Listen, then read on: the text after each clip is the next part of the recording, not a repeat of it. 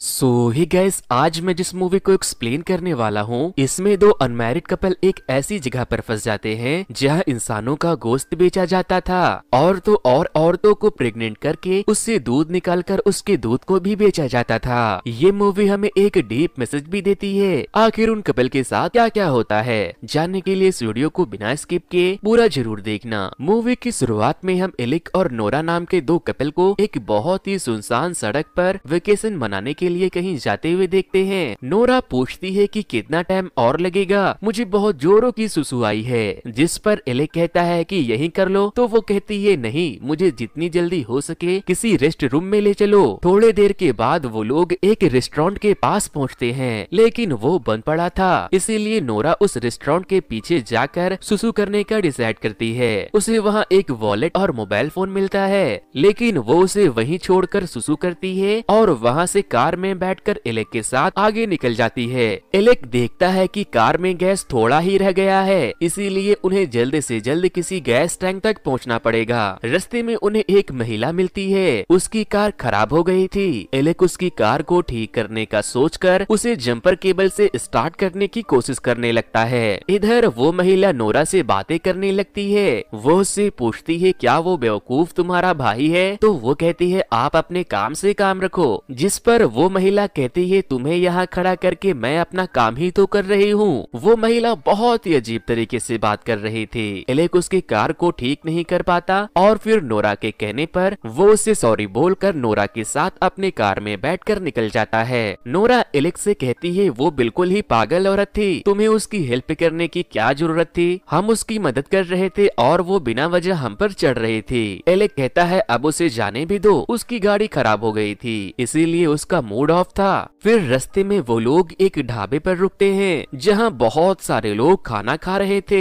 निक और नोरा भी ढाबे में जाकर फ्राइज और बर्गर ऑर्डर करते हैं। उन्हें वो बर्गर बहुत पसंद आता है, लेकिन जब वो खा रहे होते हैं तो एक शख्स उन्हें घूर रहा होता है। और तो और जब वो लोग वहाँ से जाने लगते हैं तो वही शख्स नोरा से कहता है, तुम यहाँ सेफ़ नहीं हो। वो लोग उस ढाबे से निकलकर अपने कार से आगे बढ़ते हैं। नोरा कहती है, मुझे ये सब बहुत ही अजीब लग रहा है। उस महिला का हम पर गुस्सा करना, उस रेस्टोरेंट के पीछे मोबाइल और वॉलेट का गिरा होना, और अब ये अजीब सा दिखने वाला लड़का, और आगे जाने पर उन्हें वहाँ एक गैस स्टेशन मिलता है। एलेक कार में गैस भरता है और नोरा स्टेशन के अंदर कुछ खाने पीने की चीज़ें लेने चली जाती है। गैस स्टेशन पर काम करने वाला शख्स का नाम एंड्रियो था। वो एलेक से पूछता है, क्या आपको खाने के लिए खाना और आराम करने के लिए कमरा चाहिए? रात होने वाली थी, इसीलिए एलेक सोचता है, क्यों ना आराम आराम कर लिया जाए, क्योंकि वो भी गाड़ी चलाते चलाते बहुत थक गया था। एंड्रियो उसे बताता है कि यहाँ से 20 मिनट की दूरी पर लकड़ियों से बना एक पुराना लॉज है, जहाँ बहुत से लोग आकर रुकते हैं, क्योंकि ये सड़क बहुत ही लंबी है, जिसके बाद वो दोनों कार लेकर वहाँ से निकल जाते हैं। नोरा कहती है, वो गैस स्टेशन का ऑनर, मुझे थोड़ा क्रीपी लगा। पता नहीं उसने हमें जो जगह रिकमेंड की है, वो कैसी होगी? एलेक कहता है, यार, मैं थक गया हूँ, मुझसे अब और ड्राइव नहीं होगा। कोई दुर्घटना होने से अच्छा यही होगा कि मैं रुककर कहीं आराम कर लूँ। वो लोग ड्राइव करने के बाद फाइनली उस जगह पर पहुँच जाते हैं, जहाँ बहुत सारी कार्स लगी थी। दोनों जब लॉज में जाते हैं तो वहाँ नीचे डोर पर एक अजीब सा सिंबल था। वो दोनों घर के अंदर जाते हैं तो वो घर उन्हें बहुत ही ड्राउनी लगती है, और वहाँ कोई भी नहीं था। नोरा कहती है, यहाँ तो कोई नहीं है, चलो यहाँ से वापस चले। लेकिन इलेक उसे जूठा प्लेट दिखाकर कहता है, देखो तो यहाँ बहुत से लोग हैं। फिर वो लोग चेक करने ऊपर जाते हैं, जहाँ उन्हें लैंडलॉर्ड मिलता है। वो देखने में ही बहुत ज़्यादा डरावना लग रहा था। वो उन दोनों को अपने साथ कमरा दिखाने उस लॉज से थोड़ा दूर लेके जाता है और उन्हें बताता है कि ये जगह आर्मी के लोग इस्तेमाल किया करते थे। लेकिन जब उन लोगों ने इस जगह को छोड़ दिया तो मैंने इसे किराए पर देना शुरू कर दिया। वो उन लोगों से बातें करने की कोशिश कर रहा था। तभी नोरा उसे कहती है कि क्या आप यहाँ से जाओगे? हम बहुत थक चुके हैं, हम आराम करना चाहते हैं। जिसके बाद वो वहाँ से गुस्से में चला जाता है। एलेक उसके बर्ताव के लिए उस पर थोड़ा गुस्सा करता है। रात को वो दोनों साथ में सो जाते हैं। लेकिन जब सुबह होती है तो हम उनके बेड के नीचे से किसी को उठते हुए देखते हैं। उस आदमी ने एक मास्क पहन कर रखा था। वो नोरा को किडनैप कर लेता है और जब उसे होश आता है तो वो एक पिंजरे में कैद थी। वो एलेक एलेक चिल्लाने लगती है। तो एक मास्क मैन आता है और उसके पिंजरे पर मारने लगता है, ताकि वो चिल्लाना बंद कर दे। उसके जाने के बाद नोरा पिंजरे के पास से एक पत्थर को उठाकर पिंजरे की लॉक को तोड़ने की कोशिश करती है। लेकिन तभी दो लोग वहाँ आते हैं और उसे वापस से बेहोश कर देते हैं। दोबारा से नोरा को होश आता है तो वो एक चेयर से बंधी हुई थी और उसकी दोनों टांगों को फैलाकर बाँध दिया गया था। नोरा खुद को छुड़ाने की कोशिश करती है और तभी वहाँ मास्क लगाकर एक लेडी आती है। वो एक बड़े से इंजेक्शन को नोरा की टांगों के बीच डालकर उसके अंदर कुछ इंजेक्ट कर देती है। बेसिकली उसने नोरा के अंदर सीमेंट डालकर उसे प्रेग्नेंट कर दिया था। ठीक वैसे ही, जैसे आज फार्म में जानवरों को किया जाता है। नोरा बहुत चिल्लाती है, लेकिन वो औरत उसे वहीं बांधकर चली जाती है। वैसे दोस्तों, जिन लोगों ने भी अब तक इस वीडियो को लाइक करके मेरे चैनल को सब्सक्राइब नहीं किया है, वो अभी तुरंत इस वीडियो को लाइक करके मेरे चैनल को सब्सक्राइब कर ले। क्योंकि वीडियो को लाइक करके चैनल को सब्सक्राइब करने में उतना वक्त नहीं लगता जितना वक्त मुझे आप लोगों के लिए इस तरह की वीडियो बनाने में लग जाती है, थोड़ी देर के बाद दो और मास्क मैन आते हैं और नोरा को उठाकर वापस से पिंजरे में डालकर कहीं ले जाने लगते हैं। ये एक बहुत बड़ा गाँव था, जहाँ रहने वाले हर लोग मास्क पहनते थे, इंसानों का गोश्त काट कर बेचते थे और लड़कियों को प्रेग्नेंट करके उनका दूध निकालते थे। उन लोगों ने नोरा को भी प्रेग्नेंट कर दिया था। वो उसे ले जाकर एक तबीले में बंद कर देते हैं। अब सीन शिफ्ट होती है तो हम एक फार्म के अंदर पिंजरे में कैद बहुत से इंसानों को देखते हैं। एलेक भी वही एक पिंजरे में कैद था। वो मदद के लिए चिल्लाता है और तभी वहाँ तीन मास्क मैन आते हैं। वो पिंजरे में कैद लोगों को गले को पकड़ते हैं और उनके सर पर हथौड़े से मारकर उन्हें बेहोश कर देते हैं। इसी तरह वो दो को मारने के बाद तीसरी बार में एलेक के साथ भी वैसा ही करते हैं और फिर उन्हें पिंजरे से बाहर निकाल कर एक ट्रॉली पर उन्हें लाद देते हैं। वो उन्हें एक बुचर खाने में ले जाते हैं, जहाँ उन मास्क मैन का लीडर जो ब्लैक पॉलिथीन का एक एप्रोन पहनता था, वो काटे गए इंसानों के वॉच ब्रेसलेट और घड़ी जैसी चीज़ों को एक ड्रावर में रखकर वहाँ से कुछ हाथों को पॉलिथीन में लेकर निकलता है। जब वो वहाँ से निकलता है तो हम उस गाँव के बाकी के बहुत सारे लोगों को देखते हैं, जो उसी गाँव में अपना काम करते थे और मास्क लगा कर रहते थे। वो सीनियर मास्क मैन अपने घर में जाता है और उन हाथों को घर में रखकर बाहर आता है और एक आदमी को पैसे देकर उसके कार के डिक्की से एक इंसान को निकालता है और उसे अपने फार्म में ले जाकर रख देता है। अब हम उस लैंडलॉर्ड को देखते हैं, जिसके लॉज में इलेक और नोरा रुके थे। फार्म का सीनियर मास्क मैन से मिलने आता है तो वो उससे कहता है, हमें तीन घंटों के अंदर किसी भी हाल में अस्सी लोगों का खाना बनाना है। इसके बाद लैंडलॉर्ड किचन में जाकर सिर्फ़ से कहता है कि, जल्दी करो, हमें ढाई घंटे में अस्सी लोगों के लिए खाना बनाना है और इस बार काम बिल्कुल सफ़ाई से करना, क्योंकि पिछली बार क्लाइंट को नाखून मिल गया था। अब सीन शिफ्ट होती है तो हम कुछ लड़कियों को पिंजरे में कैद देखते हैं। उन्हें प्रेग्नेंट किया गया था और उनके ब्रेस्ट से दूध निकाला जा रहा था।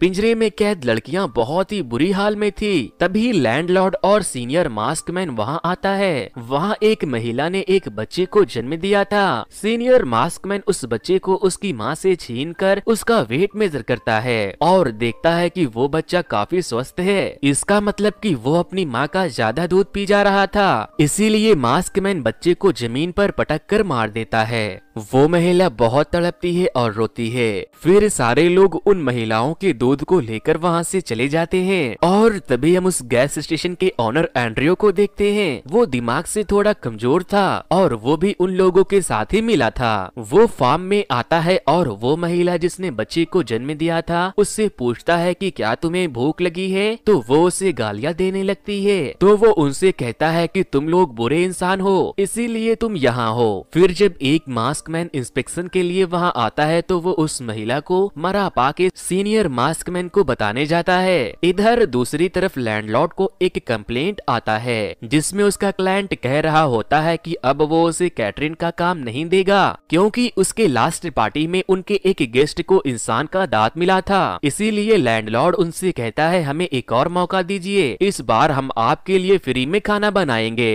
तभी वहाँ वो मास्क मैन पहुँच सीनियर मास्क मैन को उस औरत के मर्डर के बारे में बताता है। जब सारे लोग वहाँ पहुँचते हैं तो लैंडलॉर्ड समझ जाता है कि ये काम एंड्रियो का है। इसीलिए वो बाकी के मास्क मैन को उसे ढूंढ कर लाने को कहता है। अब सीन शिफ्ट होती है तो हम वापस से नोरा को देखते हैं। वो बगल के केबिन की एक महिला से पूछती है कि हम यहाँ से बाहर कैसे निकल सकते हैं? तो वो कहती है, यहाँ से बाहर निकलने का कोई उपाय नहीं है। नोरा पूछती है, यहाँ हम लोग के साथ क्या हो रहा है? तो वो बताती है कि हम उन लोगों के लिए दूध देने वाली गाय की तरह है। वो हमें प्रेग्नेंट करते हैं, बच्चे और दूध निकालते हैं और जब हम दूध देने लायक नहीं बचते तो हमें काट कर हमारे मांस को बेच देते हैं। वो बताती है कि मैं दो साल से यहाँ हूँ, मेरा एक बच्चा और बहुत सारे मिसकरेज भी हो चुका है। ये सब सुनकर नोरा बहुत डर जाती है। वो उसे ये भी बताती है कि मैं अब इस दुख भरी ज़िंदगी से आज़ाद होने वाली हूँ, क्योंकि मैं अब प्रेग्नेंट नहीं हो सकती। वहाँ एक और लड़की थी, जिसका नाम ऐस था, जो वहाँ दो हफ़्ते पहले ही आई थी। वो रो रही थी तो नोरा उससे कहती है कि मैं तुम लोगों को यहाँ से बाहर ज़रूर निकालूँगी। इधर दूसरी तरफ़ जब वो मास्क मैन एंड्रियो को पकड़कर अपने साथ लेकर जाते हैं तो लैंडलॉर्ड उसे बाकी मास्क मैन के साथ फार्म के इंसानों को खाना देने को कहता है। एंड्रियो बाकी के मास्क मैन के साथ मिलकर फार्म के इंसानों को खाना खिलाने लेकर जाता है। वो लोग उन्हें खाना ठीक वैसे ही देते हैं जैसे इंसान फार्म में जानवरों को देते हैं। लेकिन एंड्रियो खाना गिराकर वहाँ ऐसी भाग जाता है। अब हम वापस से उन सीनियर मास्क मैन के साथ तीन और मास्क मैन को देखते हैं। वो फार्म में उस लड़की के हाथों को ऊपर करके बाँध देते हैं, जो अब प्रेग्नेंट नहीं हो सकती थी, और उसके पेट को काट कर उसके अतड़ियों को बाहर निकाल कर बाकी की बॉडी पार्ट्स को भी अपने साथ काट कर ले जाते हैं। उनके जाने के बाद इलिक वहाँ आता है, जो अभी भी किसी तरह से ज़िंदा था। वो नोरा के केबिन को ओपन करता है और उसे अपने साथ लेकर जाता है। इलिक बहुत ज़्यादा घायल था। वो दोनों मास्क मैन से बच बच कर एक ट्रक के पास पहुँचते हैं। लेकिन नोरा जब उसे स्टार्ट करने की कोशिश करती है तो वो ट्रक स्टार्ट नहीं होता और तभी एक मास्क मैन वहाँ आ जाता है। लेकिन वो लोग उसे बचकर भाग जाते हैं और एक चर्च में पहुँच जाते हैं। चर्च में भी एक मास्क मैन आ जाता है तो वो चर्च में ही छुप जाते हैं। और जब वो लोग चर्च से भागने लगते हैं तो वो मास्क मैन उन्हें देख लेता है और घंटी बजाकर बाकी के मास्क मैन को अलर्ट करता है। भागते भागते इलिक का पैर एक ट्रैप में फंस जाता है। नोरा उसे छोड़ाने की कोशिश करती है, लेकिन वो नहीं छूटता। इसीलिए वो इलिक को वहीं छोड़कर भाग जाती है। वो लोग इलिक को एक पत्थर से कुचलकर मार देते हैं और नोरा बचकर फार्म में जाकर छुप जाती है। फार्म में नोरा को वो आदमी मिलता है जिसने उसे ढाबे पर कहा था कि तुम यहाँ सेफ़ नहीं हो। नोरा उससे वहाँ से बचकर भागने का उपाय पूछती है। तो वो बताता है कि वो लोग आने जाने के लिए बस का इस्तेमाल करते हैं और बस की चाबी उसी बस के पास वाले घर में होगा, जो तुम्हें घर के खिड़की के पास ही मिल जाएगा। तभी वहाँ लैंडलॉर्ड और एंड्रियो आता है। लेकिन नोरा वहाँ से भाग चुकी थी। वो सारे मास्क मैन से बचती हुई एक कार के पास पहुँचती है और उस कार के मास्क मैन को हथौड़े से मारकर उसके कार को लेकर भागने लगती है। नोरा बहुत खुश होती है, लेकिन बाकी के मास्क मैन उसके पीछे पड़े थे और तभी उस कार का गैस खत्म हो जाता है तो नोरा कार से उतर कर भागने लगती है। वो भागते भागते फार्म के पास पहुँच जाती है और एस को भी आज़ाद करके अपने साथ ले जाती है। वो दोनों बस के पास वाले घर में जाते हैं और खिड़की से चाबी चुरा कर वापस से बस की तरफ़ भागते हैं। बस में आने के बाद नोरा जैसे ही बस को स्टार्ट करती है, वो देखती है कि ऐस एकदम खामोश है और फिर जब नोरा पीछे मुड़कर देखती है तो उसके होश उड़ जाते हैं, क्योंकि सारे मास्क मैन उसी बस में पहले से बैठे थे। मूवी के एंड में हम देखते हैं कि उन सारे मास्क मैन ने ऐस और नोरा को मारकर पका दिया है।